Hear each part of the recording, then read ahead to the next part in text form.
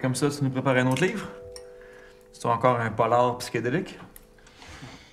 Disons que c'est une histoire post-apocalyptique. T'es romantique, toi? On fait quoi? On, on va chercher? On attend.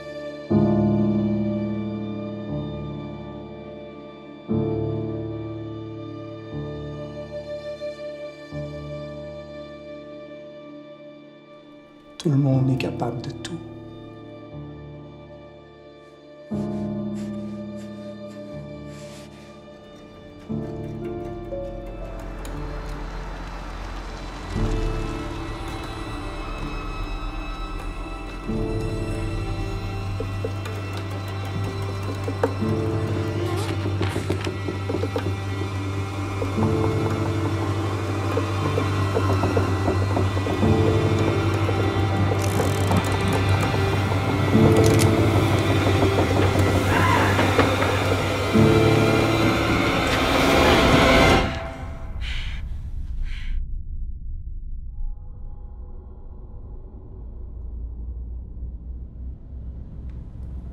Ça va continuer, Mathieu.